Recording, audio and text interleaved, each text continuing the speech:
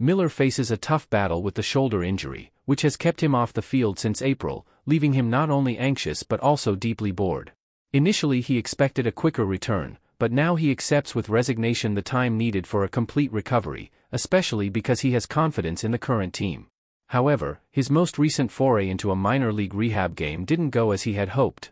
During that game, he faced numerous difficulties controlling his speed and noticed a reduction in the speed of his fastball, a fact possibly attributed to the lack of adrenaline in the minor league environment. However, he claims to be feeling well physically and is imbued with an iron determination to improve his performance. Miller is already preparing for another rehab session next Friday, this time in a different minor league, where he plans to dedicate more time and throw significantly more balls. His goal is to regain his fitness and pitching skills to the point where he is ready to resume his position in the Dodgers' main lineup as quickly as possible.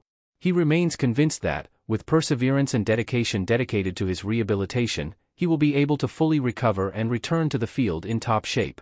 His unwavering determination and incisive focus are the engines that drive him to overcome challenges and return to the field with all his strength and dexterity.